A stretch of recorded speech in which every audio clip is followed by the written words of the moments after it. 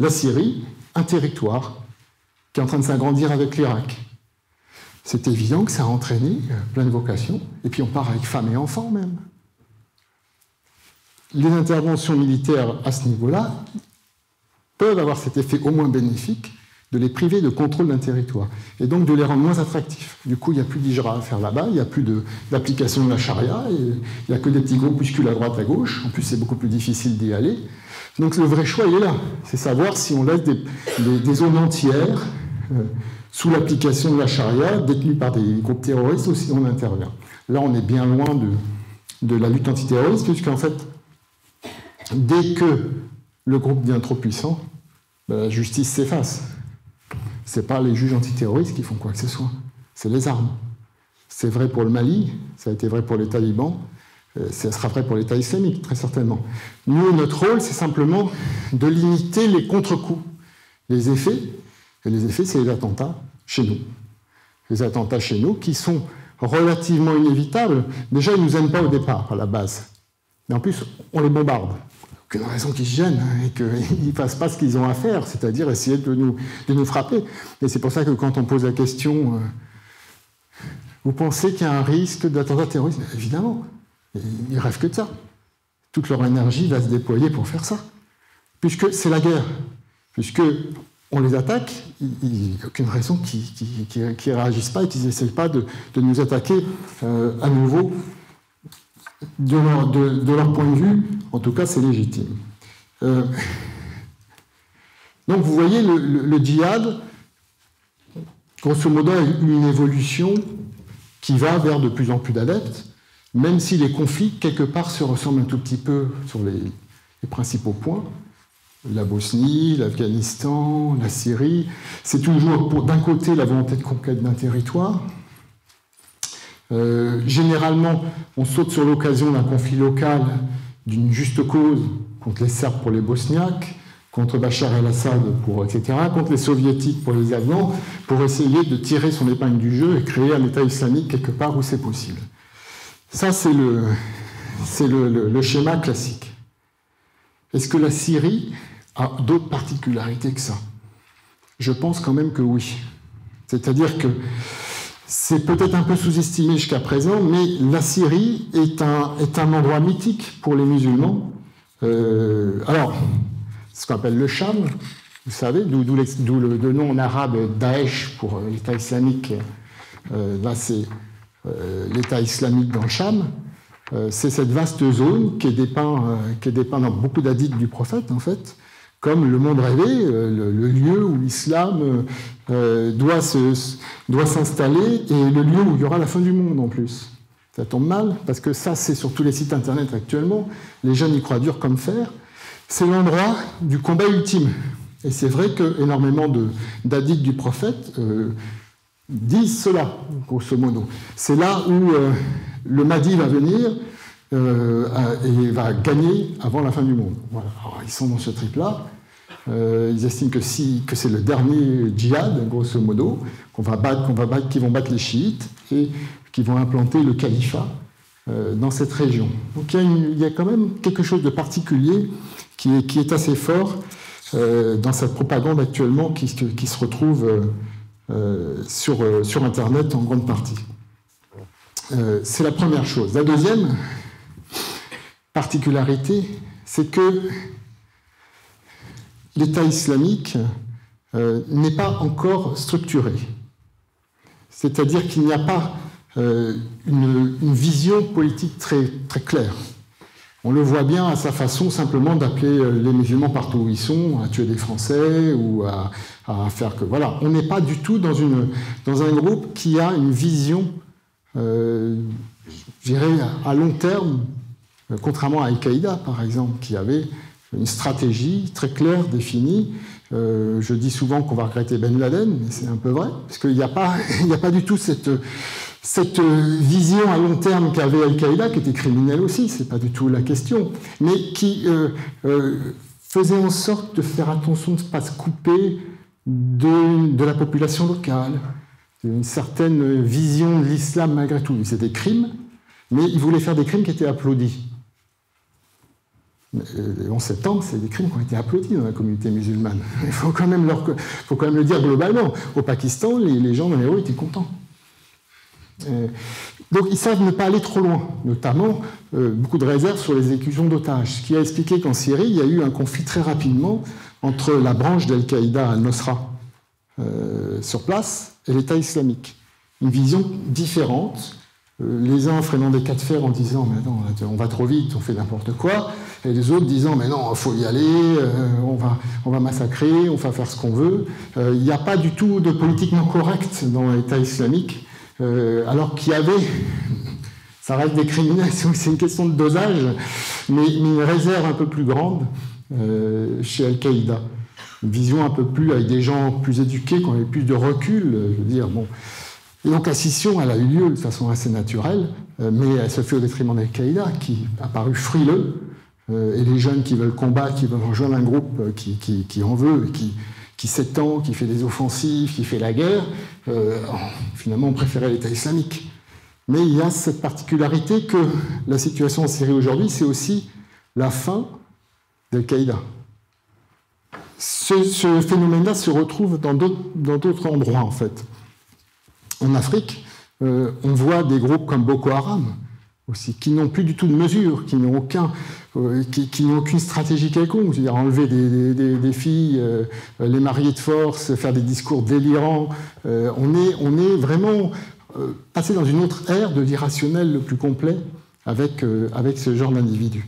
Donc ça, la Syrie est aussi quelque chose, le conflit Syrie-Irak est aussi un, passage d'une, je dirais, bah, de, de Al-Qaïda à un groupe qui fait appel à l'irrationalité la plus totale, qui, se détache de plus en plus même des, islamistes les plus radicaux. Euh, et peut-être, et là c'est le côté optimiste que je tiens à avoir, peut-être que c'est notre chance. C'est-à-dire que généralement, quand on va trop loin, on finit par écœurer les gens, comme manger trop de gâteaux au chocolat. Et j'ai cette impression que euh, l'État islamique va trop loin dans les atrocités pour que très longtemps, des jeunes, même radicalisés, les suivent. Un peu le phénomène qui s'est créé en Algérie au bout d'un moment. Euh, les gens sont finalement écœurés, euh, tant de massacres, tant de villages euh, massacrés. Donc, qu'est-ce qu'on va pouvoir, qu'est-ce qu'on va pouvoir faire de l'État islamique Mais en dehors de ces terres de djihad qui se succèdent, notre problème, il reste. Les îlots djihadistes, les îlots, c'est les individus. C'est-à-dire toutes ces personnes qui sont radicalisées et qui, si demain ils ne peuvent pas rejoindre l'État islamique, sont quand même des gens sur le territoire français qui ont envie d'en découdre, qui, qui, se sont radicalisés. Et euh, là, je voudrais vous parler un tout petit peu des gens qu'on rencontre dans nos cabinets. Je vous ai parlé des enfants, des mineurs, etc. Mais on a, la société française a réussi à créer quelque chose qui est, que j'ai beaucoup de mal à définir, euh, qui sont des, euh, un mélange de modernité et d'archaïsme total. Alors je vais vous le dépeindre d'une façon que vous comprendrez beaucoup mieux. Euh, vous avez un jeune qui, qui, a un iPod, un iPad, une tablette, qui est sur Internet 10 heures par jour et qui veut vivre comme en 632 après Jésus-Christ. Vous voyez à peu près le schéma. Qui refuse la modernité et qui est complètement dedans on a, on a cette aberration, cette mutation génétique, je ne sais pas, partie de jeunesse qui, qui se retrouve dans un, dans un univers hyper moderne, hyper occidentalisé, et qui ne rêve que de tomber dans un certain archaïsme, tout en n'abandonnant pas vraiment sa société. Enfin, des jeunes qui sont, euh, qui savent même pas, qui savent pas vraiment où ils sont, qui sont assez insaisissables, qui n'ont pas coupé complètement avec le monde moderne on a des, personnes qui sont, euh, grosso modo, malléables, mais dans un sens et sans doute dans l'autre aussi. Et la seule différence, c'est que les seuls qui aujourd'hui euh, essayent de les pétrir, ce sont les islamistes. Euh, on a, sur la masse de ces jeunes-là, les seuls pour la technique, pour capter ces, jeunes qui ne savent pas trop où se situer, bah, ce, sont ces groupes terroristes. C'est les seuls qui apportent une idéologie, qui apportent euh, un, peu, des solutions à leurs problèmes. Euh, vous savez qu'on parle souvent de la motivation que peut avoir un jeune pour partir euh, faire le djihad. Bon. des parents ne comprennent pas, ils sont un peu perdus. On voudrait mettre des catégories en disant il y a telle ou telle catégorie. La première chose qui est frappante, c'est que vous avez, allez, disons 20 ans, vous avez éventuellement euh, pas de boulot ou des difficultés à vous insérer socialement, vous avez des problèmes d'identité éventuellement, vous avez des problèmes de euh, payer le loyer, les impôts, je ne sais pas. Et ce qui est frappant, c'est que avec 200 euros, vous laissez tous vos problèmes derrière vous. 200 euros, c'est un billet pour aller en Turquie. Et vous les laissez tous. Parce qu'une fois que vous êtes à l'État islamique, vous n'avez plus tous ces soucis. Pas d'autres. Vous avez votre calache, euh, ok, il faut se battre, c'est risqué, mais tous les problèmes de la vie moderne que vous avez réussi à fuir sont derrière vous définitivement. Euh, et ça, c'est quelque chose manifestement de très attractif. On le retrouve sous, une autre forme chez les jeunes femmes qui ont vécu à l'occidental, qui, euh, avaient des jeans sortis en boîte, etc., euh, qui trouvent la vie compliquée, pareil. Ça passe dans la société, c'est un peur de l'avenir, les problèmes voilà, même affectifs, tout ce que peut rencontrer une jeune femme et qui, en portant le voile intégral, en se mariant, en allant dans un pays euh, où on applique la charia, abdique sa liberté, mais laisse tous ses problèmes de côté. Elle n'a plus rien à gérer. Et moi, ce qui m'a frappé en discutant avec ces jeunes-là, c'est que quand on va au, fond de ça, on, voit très bien dans leur langage que c'est un moteur essentiel. C'est-à-dire la fuite par rapport à la complexité du monde moderne, grosso modo. C'est, moi, ça me frappe euh, bon, c'est mon analyse à moi, mais je crois que c'est l'un des, moteurs les plus importants. Après, euh, vous pouvez rajouter euh, d'autres facteurs qui ont toujours existé. Bah, par exemple, le goût des armes. Un garçon, il aime bien un Kalachnikov c'est super, quoi. C'est quand même mieux qu'en virtuel, en vrai. Euh, donc il y a toujours ce côté embrigadement, faire partie d'un groupe armé. Euh. imaginez le nombre de, jeunes qu'on a eu dans nos cabinets qui ont essayé de faire l'armée ou qui ont fait l'armée. Ça montre bien que Nara notamment, il y a des gens qui, ont voulu s'engager dans l'armée, ou même qui ont fait un parti dans l'armée, française je veux dire, qui ont été rejetés pour différentes raisons, leur contrat de 5 ans n'a pas été renouvelé, ce qui vous montre bien que ce n'est pas quelque chose d'évident, on, pas, on, ne naît pas euh, islamiste radical, ça ne veut rien dire. Euh, il y a des jeunes qui naissent dans des milieux criminogène, de ce point de vue-là, ça c'est clair. Euh, c'est sûr que si vous êtes né dans la famille Mera, euh, du côté de Toulouse, vous n'allez pas forcément grandir euh, de la même façon que tout le monde. Mais en tout cas, d'une manière générale, on peut estimer que à ce stade-là, les Français qui sont là chez nous, si on avait vraiment les moyens de les prendre en charge, on pourrait quand même faire une certaine réversion du problème. Bon, ça, c'est tout simplement pour être un peu optimiste, parce que ça dépasse largement ce que, euh, les juges d'instruction peuvent faire. Mais, malgré tout, je ne peux pas le dire pour le conflit syrien, c'est le seul bémol. On a un peu de recul sur le faible taux de récidive. Alors, ça peut paraître bizarre, mais Gallo comprendra bien ce que je veux dire. Pour des magistrats, le taux de récidive, c'est intéressant. On a un recul de 30 ans de, de jeunes qui sont partis faire le djihad pour intégrer des groupes terroristes. Et on commence à regarder et essayer de voir ce qu'on recommençait. Puisqu'on nous les dépeint comme nécessairement euh, euh, de l'autre côté, c'est-à-dire irrécupérables, souvent. Bon, alors que sont devenus ceux qui étaient dans les groupes pendant les années 90, qui ont été arrêtés et condamnés en France, ceux qui ont été dans les premières filières afghanes dans les années 94, ceux qui ont été en Bosnie, ceux qui ont été en Irak? Est-ce que tous, ici, nous ont continué dans le terrorisme? Non. Il y a un taux de récidive, certes, mais ce n'est pas, énorme, si vous voulez. Donc ça veut dire qu'il y a pas mal de jeunes, même poursuivis judiciairement, même condamnés pour terrorisme, qui n'ont pas recommencé. Et comment on peut analyser ça? Est-ce que c'est une autre génération ou est-ce que ce sont des jeunes qui, euh, d'une manière ou d'une autre, après la prison, euh, en mûrissant, euh, ben, sont sortis d'une espèce d'embrigadement C'est une nature sectaire et que psychologiquement, ils sont développés autrement? Il y en a aussi pas mal, et ça, c'est lié à simplement des questions qu'on leur pose, hein, on va dire. Il y en a aussi pas mal qui estiment qu'ils ont fait leur devoir, c'est-à-dire qu'ils ont fait le djihad, un peu de terrorisme, je dirais qu'ils ont, ils ont le paradis assuré, ils n'ont pas besoin d'aller plus loin. Quoi. il, y a, il, a, pas mal de, critères là-dedans. Mais on ne peut pas dire absolument pas que quelqu'un qui est passé dans le cahier d'instruction antiterroriste, qui a été condamné, sera terroriste toute sa vie. Ce n'est pas vrai, parce que sinon la masse de ceux qui sont passés jusqu'à présent, on les retrouverait. Alors on en retrouve. On en retrouve. On en retrouve qui, qui, qui recommencent et qui. Voilà. Mais cette génération-là, passée en tout cas, n'a pas, nous a pas montré euh, que nécessairement euh, il y avait une récidive automatique euh, en la matière. En tout cas, infiniment plus faible que pour des criminels sexuels, par exemple. Donc, euh, oui, un terroriste bien radicalisé a moins de chances de récidiver statistiquement qu'un criminel sexuel. Ça, c'est le premier point. Maintenant, avec les jeunes que l'on a aujourd'hui, c'est beaucoup plus difficile de savoir. On sait, on sait que la plupart d'entre eux n'ont pas euh, un endoctrinement qui provient, je dirais, de, d'une vraie culture religieuse qu'on leur a distillée.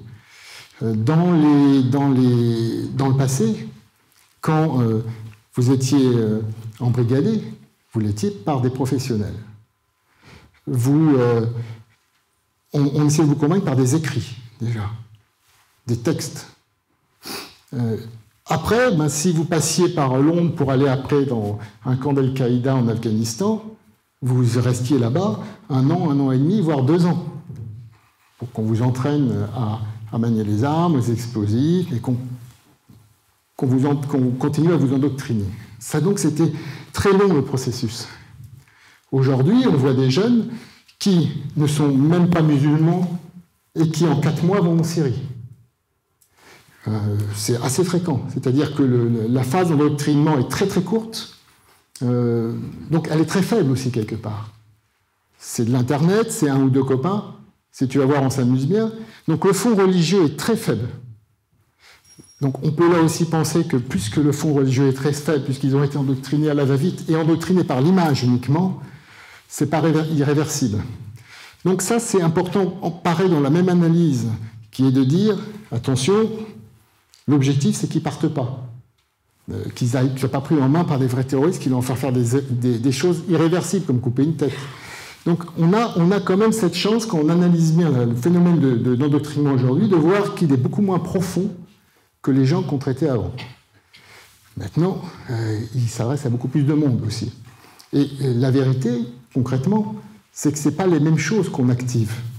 Sans doute que dans le cerveau, si j'avais un scanner, on ne verrait pas la même lumière. Pourquoi? Ce sont des gens qui ont été endoctrinés par l'image, pas par le texte.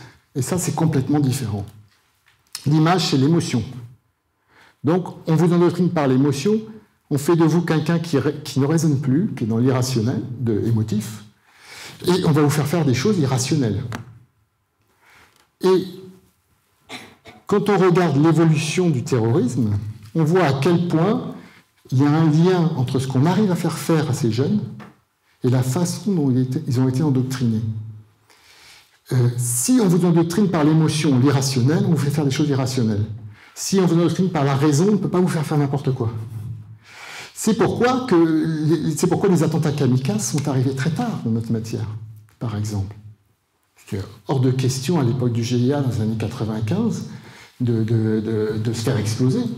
Ça ne se faisait pas. C'est complètement abruti comme, comme, procédé.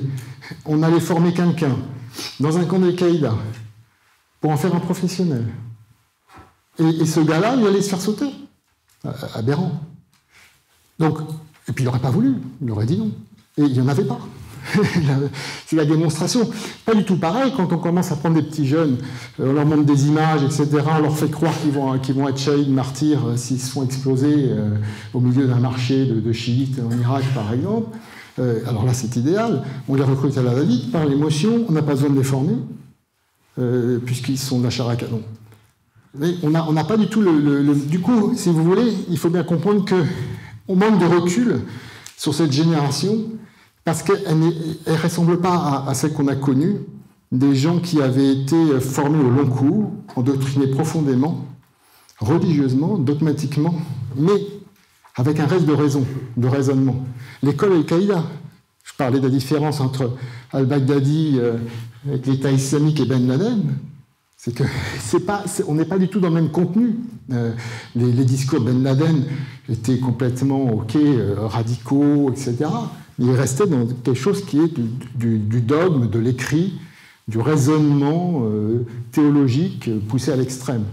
On n'a plus tout ça aujourd'hui. Donc cette génération-là, elle est portée par l'émotion et j'ai tendance à dire que le fond n'est pas très puissant finalement. Et qu'il y a quelque chose de réversible qui peut se faire. Ils ont été pris par le choc des photos, j'allais dire, le choc des émotions, mais qu'il y, a du travail qui est, faisable.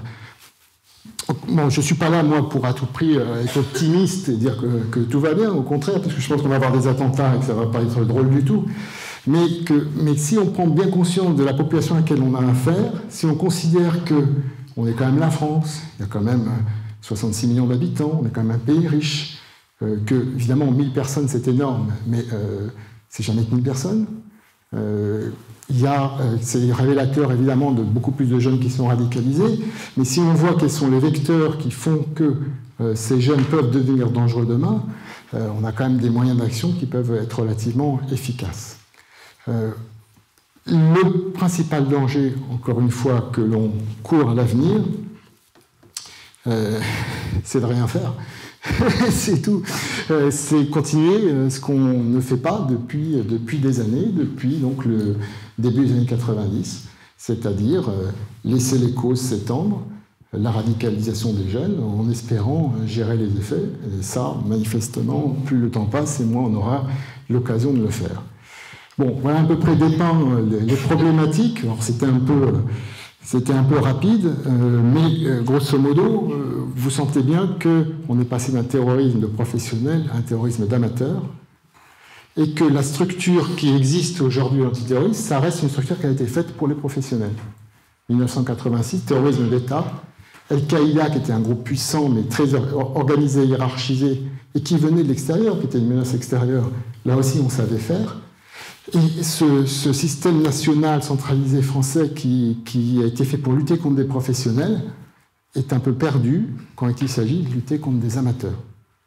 Euh, quand il s'agit d'avoir des mineurs déférés à Gary Saint-Éloi ou des femmes, c'est évident qu'on n'a pas l'habitude.